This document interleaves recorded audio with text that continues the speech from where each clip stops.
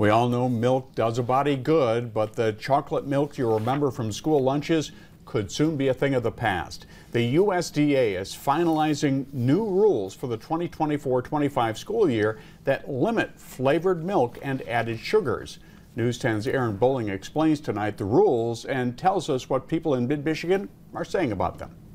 A few years ago, supply chain issues left Holt Public Schools without chocolate milk for about three months. When chocolate was off of the table, our consumption overall, uh, remembering back to my invoicing, um, we were about 50% less. Their school's director of food services says it's a tricky topic. He says Americans consume too much added sugar and sodium but the food still needs to be enjoyable. Frankly, in my view, um, I know some views from the dairy councils have been too, if it's at least chocolate milk, it's better than no milk at all. While chocolate milk is a fan favorite at Holt Public Schools, coming in at 7 grams of added sugar, a lower sugar substitute could be possible with the new regulations.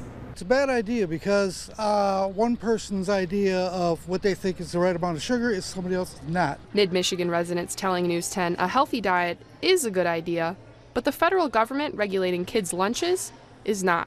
It's okay to, you know, to take out some of the stuff, you know, but not all of it. I mean, some kids need to have a treat every now and then, even if it's at lunch. The USDA working to cut added sugars while some hope for a sweeter deal. In Holt, Aaron Bowling, News 10. None of the proposed updates to school meals are final yet. The USDA says it will make a final decision with enough time for schools to prepare for the 2024-25 school year.